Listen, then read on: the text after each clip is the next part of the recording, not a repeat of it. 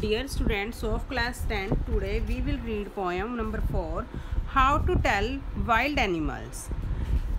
ये जो पोएम है इसके ऑथर हैं Carolyn Wells it is a humorous poem it tells us how we can tell different wild animals if we come upon them suddenly ये जो poem है ये एक हँसी मज़ाक वाली पोएम है और हमें बताती है कि किस प्रकार से डिफरेंट टाइप्स के वाइल्ड एनिमल्स को डिफ्रेंशिएट करना है और अगर वो हमें अचानक से कहीं पे मिल जाते हैं। Okay now I am starting the poem if ever you should go by chance to jungles in the east east यानी कि eastern country in India and if there should do you advance a large and tawny beast, if he roars at you as you are dying you will know it is the Asian lion. The east eastern country is stony, brownish, yellow, dying यानी कि तुम मर रहे हो जो poet है वो कहता है अगर तुम कभी ईस्टर्न के किन्हीं जंगल में जाओ और या तुम्हें कभी अचानक से वहाँ से जाना पड़े और तुम्हें वहाँ पर एक बड़ा सा क्या मिल जाए? बीस्ट टोनी यानी कि येलोइस और ब्राउनिश बिस्ट मिल जाए और वो तुम्हारे ऊपर बहुत ज़ोर से झपटेगा और या फिर तुम्हें देखकर वो दहाड़ेगा और तुम्हें लगे कि तुम मर रहे हो। और तुम एकदम से समझ जाना कि ये कौन है? एशियाटिक लॉयन है। ओके तो ये कौन होगा? Asiatic lion now in second paragraph or if some time when roaming round roaming यानी कि wandering and noble wild beast greets you noble, यानी कि जो देखने में बहुत सुंदर लगे। ग्रीट्स मीट करे तुमसे।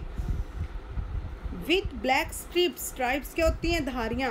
ब्लैक धारियाँ उसकी बॉडी पर हो। येलो ग्राउंड उसकी येलो बॉडी पर ब्लैक धारियाँ हो। Just notice if it's you तो नोटिस कर लेना कि ये तुम्हें खाएगा।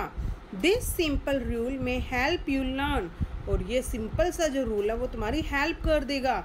The Bengal tiger to discern discern क्या होता है? आइडेंटिफाई। जब तुम कभी ईस्टर्न किसी कंट्रीज़ के जंगल में जाओ और देखने में तुम्हें बहुत ही सुंदर सा एक एनिमल मिले, जिससे कभी भी तुम्हारा सामना हो और उसकी ब्लैक ब्लैक धारियाँ हो, किस पर? उसकी येलो बॉडी पर। तो तुम ये बात ध्यान देना कि अगर ये तुम्हें खाता है या नहीं खाता और अगर तुम्हें खा जाता है तो बिल्कुल समझ जाना कि कौन एक बंगाल टाइगर है। इस जानवर की पहचान करने का सबसे साधारण सा मेथड है। In stanza three, if strolling for the best you view, was hide. Hide यानी कि क्या होती है? Animal skin with spots is peppered peppered, covered. As soon as he has left on you you will know it is a leopard. Twill do you know good to roar with pain, he will only lap and lap again. Strolling walking. जब तुम किसी eastern countries में टहलते हुए जा रहे हो और वहाँ पर तुम्हें एक बेस्ट यानी कि एनिमल दिखाई दे वो हाइड हाइड यानी कि एनिमल स्किन उसकी जो स्किन है वो स्पोर्ट्स से कवर्ड हो। As soon as as he has left on you और तुम देखोगे कि तुम्हारी तरफ़ उछल कर आएगा। यू विल नो तो तुम समझ जाना कि ये कौन एक लेपर्ड यानी कि तेंदुआ है। Twill do no good to roar with pen तुम्हारे, जब तुम दर्द में चिल्लाओगे तो इस पर इसका कोई भी इफ़ेक्ट नहीं होगा, क्योंकि ये तुम्हारे ऊपर बार बार उछल कर आता रहेगा। और he will only lap and lap again और जब तुम पीड़ा में चिल्ला रहे होंगे तो बार बार आपके ऊपर क्या करेगा?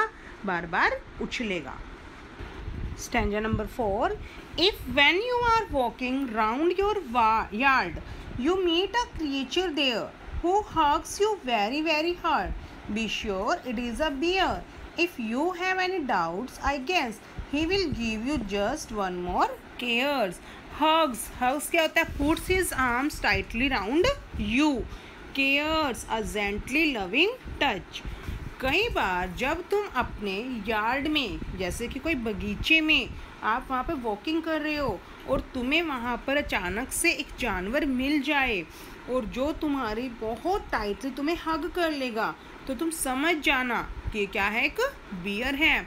और यदि आप उसको अगर वो आपको बार बार हक करे if you have any doubt अगर तुम्हें कोई डाउट लगता है I guess he will give you just one more caress और वो तुम्हें मारने से पहले तुम्हें हक करेगा टाइटली तो तुम समझ जाना कि ये कौन एक बियर है. In stanza five Though to distinguish beasts of prey, a novice might non-plus the crocodile you always may tell from the hyena thus, hyena comes with merry smiles, but if they weep, they are crocodiles. Beast of prey, शिकार करने वाले जानवर novice someone new to a job यानी जिसने नया नया काम सीखा हो नॉन प्लस पजल उलझन में पड़ जाना क्या होता है कि a novice can get confuse एक जो नया नया सीखा हुआ, शिकार करने वाला जो आदमी है, अगर उसे अपना भोजन लेने के लिए जानवरों की पहचान करने में थोड़ी पजलिंग फील हो नॉन प्लस हो तो लेकिन जो क्रोकोडाइल है यू ऑलवेज में जो क्रोकोडाइल होता है, और एक जो हाइना होती है, उनकी पहचान करना थोड़ा मुश्किल नहीं है। जो एक क्रोकोडाइल है, वो हमेशा अपनी आँखों में टीयर्स रखेगा। और जबकि एक जो हाइना है, वो स्माइल करती हुई तुम्हारे पास आएगी। In standard six the true chameleon is small a lizard short of thing he has not any tears years at all and note a single wing if there is nothing on the tree this the chameleon you C true real short किस्म TISS it is जो real में जो गिरगिट होता है केमेलियन होता है, वो बिल्कुल छिपकली के जैसा दिखाई देता है। ना तो उसके कोई कान होते हैं और ना ही उसका कोई सिंगल पंख होता है, जिससे कि वो उड़ सके। अगर तुम कभी पेड़ पर जाओ और तुम्हें वहाँ पर कुछ भी दिखाई ना दे तो तुम समझ जाना कि वहाँ पर एक केमेलियन ही होगा, क्योंकि केमेलियन जो होता है, वो अकॉर्डिंग टू कलर अपना कलर चेंज कर लेता है। अगर वो रेड देखता है रेड हो जाता है ग्रीन देखता है तो ग्रीन हो जाता है। तो यानी कि अब तुम समझ जाना कि तुम्हें वाइल्ड एनिमल्स को कैसे इंट्रोड्यूस करना है।